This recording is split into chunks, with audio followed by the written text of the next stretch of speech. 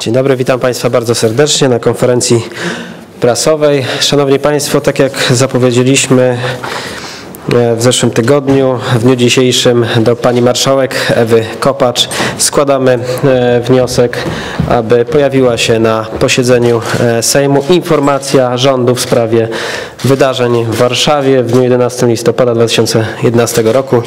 Wniosek, to pismo zostanie wraz z uzasadnieniem złożone w dniu dzisiejszym e, do Pani Marszałek. Będziemy chcieli, aby e, ta informacja rządu no, pojawiła się na posiedzeniu Sejmu po prostu jak, jak najszybciej.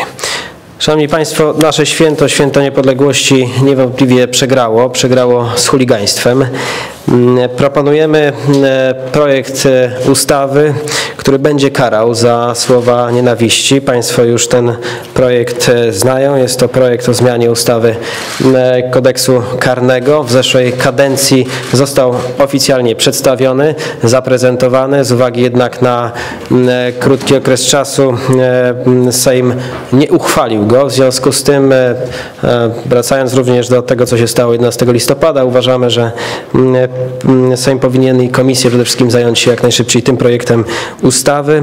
E, Zdajemy sobie sprawę z tego, że te, często te słowa, słowa nienawiści mm, prowadzą do przemocy. Tak również e, było 11 listopada i Sojusz Lewicy Demokratycznej, klub Sojusz Lewicy Demokratycznej mówi dość nienawiści. To jest nasza odpowiedź. Projekt e, ustawy w tej sprawie zostaje e, przedłożony. Proponujemy e, zmiany w kodeksie karnym w artykule 119, w artykule 256, w artykule 257, które dotyczą sankcji za e, publiczne mm, e, znieważenia, stosowanie przemocy, ale również groźby bezprawne. Chodzi o to, aby do wszystkich tych trzech artykułów dopisać e, e, słowa, e, jak również ze względu na płeć, tożsamość płciową, wiek, orientację seksualną i niepełnosprawność.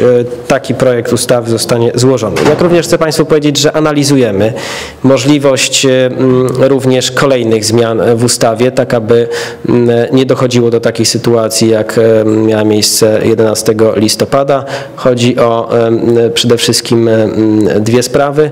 Pierwsza dotyczy organizacji zgromadzeń w tym samym miejscu, czy też w okolicy e, jednego miejsca i druga dotycząca zakrywania twarzy. Jest e, przez nas, e, przez nasz klub to w tej chwili analizowane, sprawdzane i na pewno Państwa poinformujemy w, myślę, krótkim czasie o naszych propozycjach e, zmiany również e, ustawowych e, w tej sprawie.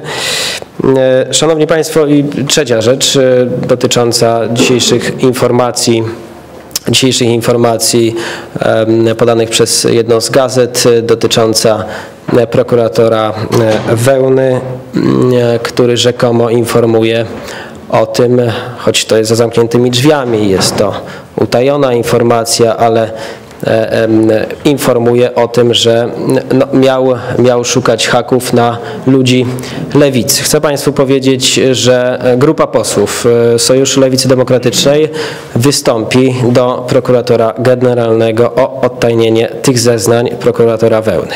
One e, mają posłużyć temu, że jeśli to się potwierdzi i prokurator e, Wełna e, od, zostaną odtajnione te informacje, być może skorzystamy z zapisów e, kodeksu karnego i wobec tych osób, które inicjowały e, między innymi te akcje, zostaną złożone pozwy.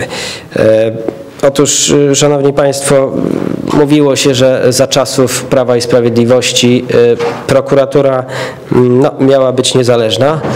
No i krótko mówiąc wyszło e, szydło z worka. Oczywiście podkreślam, jeśli te informacje się potwierdzą. Pod tymi szczytnymi hasłami, y, mm, można powiedzieć, niezwykle prawych i sprawiedliwych y, ukrywali się y, ludzie, którzy są chyba chorzy z nienawiści i chorzy na władzę. Szukają po prostu haków. Mamy nadzieję, że to się oczywiście nie potwierdzi, chociaż ten artykuł pokazuje, że tak de facto mogło do tego dochodzić. Myślę, że w ciągu najbliższych godzin taki wniosek do prokuratora generalnego zostanie złożony i będziemy wnosili o to, aby zostały odtajnione informacje, które przekazał pan prokurator Wełna za zamkniętymi drzwiami, jak czytamy.